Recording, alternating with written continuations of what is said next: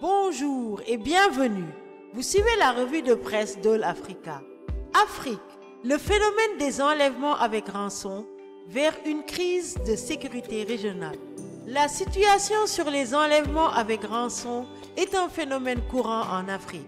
En effet, les kidnappings et les prises d'otages dans le but d'obtenir des fonds et des concessions se sont accrus sur le continent.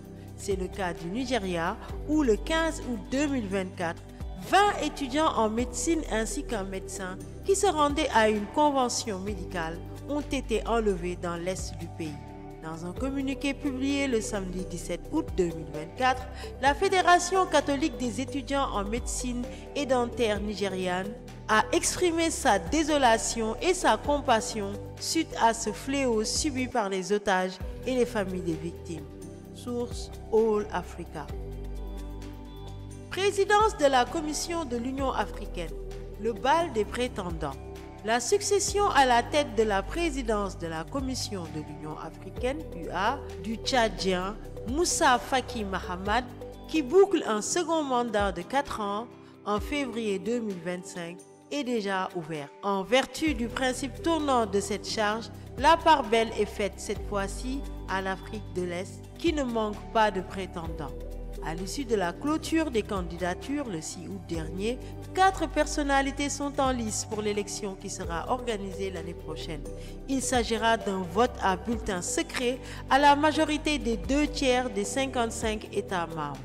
Les candidats sont l'opposant historique Kenya Raila Odinga, 79 ans, le ministre des Affaires étrangères de Djibouti Mohamed Ali Youssouf, 58 ans, le malgache Richard Randria Mandrato et le mauricien Anil Gayan, 76 ans, tous deux ex-patrons de la diplomatie de leur pays. Source Sidoya.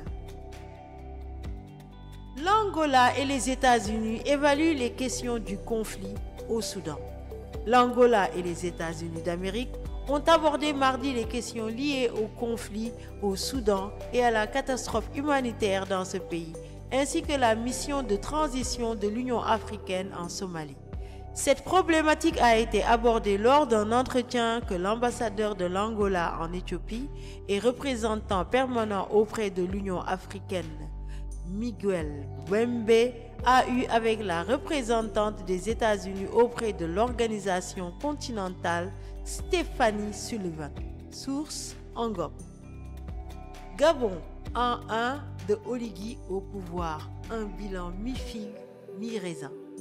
Il y a une année, presque jour pour jour, au Gabon, il s'était opéré une révolution de palais qui a mis fin au règne de la dynastie des Bongo qui a duré près d'un demi-siècle. En effet, alors que le président Ali Bongo qui a succédé à son père en 2009 venait de réussir à se faire élire pour un troisième mandat à la tête du pays, il est déposé par un groupe de militaires avec à la tête le chef de la garde présidentielle, le général Brice Oligui Nguema.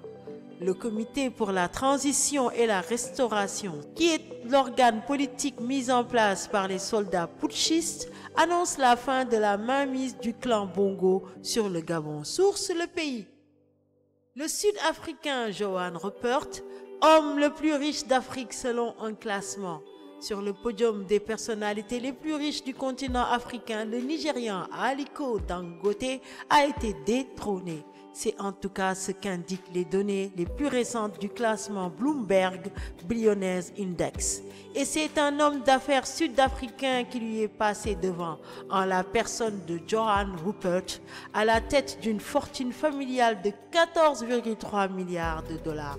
Sa fortune s'est envolée depuis 2020 et il la doit principalement au groupe Richemont basé en Suisse, un géant du luxe qui est notamment propriétaire des marques Cartier et Montblanc.